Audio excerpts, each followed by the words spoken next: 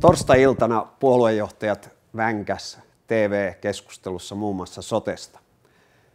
Tuli tukku vääriä väitteitä opposition riveistä. Petteri yritti niitä parhaansa mukaan oikoa, mutta siellä oli aina Li Andersson, Ville Niinistö, Antti Rinne tai joku muu huutamassa Petterin päälle. Nyt minä ajattelin käyttää tilaisuutta hyväkseni ja esittää kahdeksan pointtia sotesta, kun pystyn sen tekemään ilman, että kuka sotkee päälle. Ensimmäinen pointti. Keskustelussa viitattiin Ruotsiin. Rinne kertoi, että hän on puhunut oikein Ruotsin pääministerin kanssa.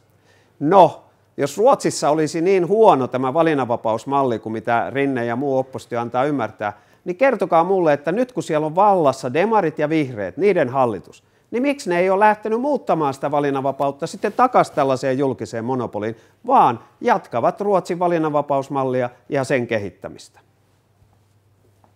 Toiseksi, toimittaja Vesikallio vänkäs, että mitä tasa-arvoa se on, kun jossain tuolla maaseudun syrjäkylillä ei ole samaa valinnanvapautta kuin mikä on vaikkapa Helsingissä ja Helsingin töölössä. No mä voin sanoa, että ikinä minkään palvelujen osalta ei ikinä ole ollut eikä tule olemaan sellaista tilannetta, että kaikissa maan syrjäkylissäkin olisi samat mahdollisuudet tehdä valintoja kuin mikä on vaikka Helsingin töölössä. Kolmanneksi, siinä väitettiin, että palvelua tuottava yritys saa valita potilaansa. Eivät saa. Kaikki on otettava sisään ja hoidettava terveeksi. Neljänneksi, Ville Niinistö väitti, että veronmaksajan etu on se, että kaveri hoidetaan terveeksi mahdollisimman pian, mutta että yrityksen etu on mukaan se, että teetetään kaiken maailman turhia toimenpiteitä. No, jos Ville Niinistö olisi viittynyt lukea paperit, niin hän tietäisi, että korvaus tuottajalle perustuu kapitaatiomalliin, eli maksetaan siitä terveyshyödystä, eikä suinkaan kaiken maailman erilaisista kokeista. Eli eihän me nyt sentään tyhmiä olla.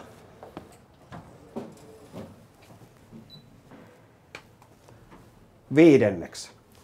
Antti Rinne väitti, että kustannukset kasvaa ylimääräisellä miljardilla – kun taas Sari Esaja väitti, että nyt on semmoinen leikkuri, kustannusleikkuri, että maakunnilta loppuvat rahat kesken.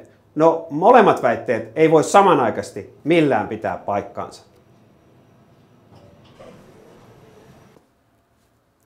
Kuudenneksi. Ohjelmassa tehtiin iso ongelma siitä, että on potilaita tai heidän omaisia, jotka ei pysty valitsemaan. No, ne menee varmaan lähimpään lääkäriin. Mikäs ongelma se sitten on? Ei mikään. Seitsemänneksi. Vasemmisto näki ison ongelman siinä, että perusterveydenhuolto avataan kilpailulle. Yrityksethän kilpailevat laadulla, koska hinnalla ei voi kilpailla. No mikä se ongelma tämä sitten on? Meillä on varmaan satoja tuhansia suomalaisia, jotka on työterveyshuollon piirissä, vapaan kilpailun piirissä, eikä siinäkään ole mitään ongelmaa. Päinvastoin ihmiset on ilmeisen tyytyväisiä työterveyshuoltoon. No kahdeksas pointti. Rinteen mielestä valtava ongelma on se, että veromaksajien rahaa menee yksityiselle palveluntuottajayritykselle. No mikä se ongelma se sitten on? Jos kerta siinä hyötyy sekä potilas että veronmaksaja saamalla palvelut halvemmalla, niin eikö se ole meidän kaikkien yhteinen etu? Eikä kai Rinnekään ole sitä mieltä, että kun veronmaksajan rahaa menee myös sairaaloiden rakentamiseen tai röntgenlaitteiden hankkimiseen, että meidän pitäisi perustaa erikseen valtiollinen sairaalan rakentamisyhtiö ja valtiollinen röntgenlaitteiden tuottamisyhtiö ja valtiollinen laboratoriolaitteiden tuottamisyhtiö ja niin edelleen.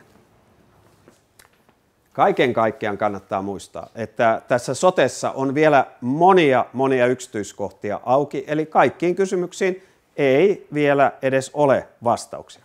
Tämä tällä kertaa. Moi!